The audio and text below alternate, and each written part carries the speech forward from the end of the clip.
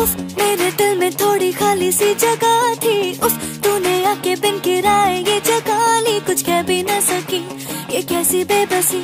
You Chupke Chupke आया, बिन बुलाया मेहमान उफ मेरे दिल में थोड़ी खाली सी जगह थी। हमको ना खबर कब कैसे आया वो। दिल से खुश फुस क्या फरमाया